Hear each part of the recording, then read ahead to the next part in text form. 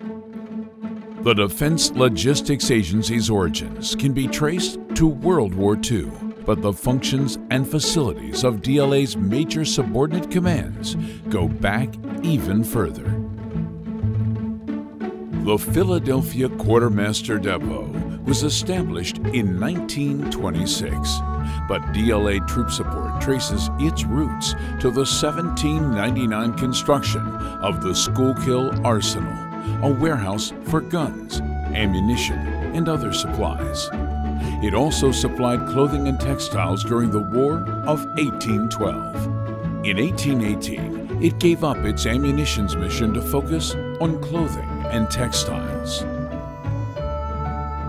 100 years later, in 1918, the Columbus General Depot, a small post in central Ohio, was built to support America's forces in World War I.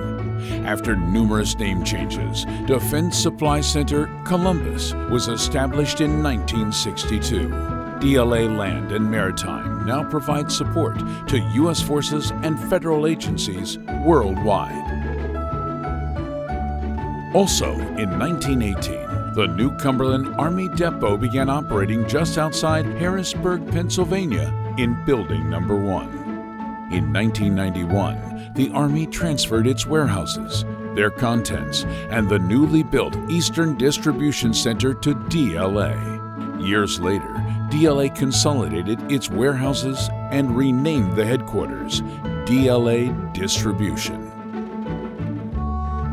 DLA Aviation's name has changed many times since its activation in 1942, but its gate off Route 1 in Richmond, Virginia remains a familiar sight. First activated as a depot under the Department of the Army, it received, stored, and supplied quartermaster, medical, and engineering items. DLA Disposition Services began as the Defense Property Disposal Service.